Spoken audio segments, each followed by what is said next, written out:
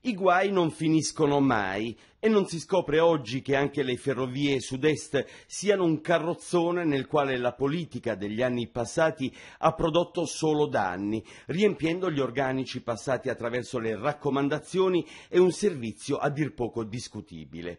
E così finalmente la Regione Puglia ha deciso di mettere le carte in chiaro con l'azienda di trasporto a seguito di una situazione insostenibile che integra le condizioni per la rescissione in danno del contratto. Dunque, dall'assessore l'assessore regionale Giannini è partita velocemente la messa in mora attraverso una lettera indirizzata all'amministratore unico delle Sud-Est, Luigi Fiorillo, e per conoscenza al Ministero dei Trasporti. Il contratto con la Sud-Est disciplina impegni finalizzati a realizzare un'offerta di trasporto pubblico in termini di efficienza, decoro e puntualità nel rispetto dei diritti dell'utenza.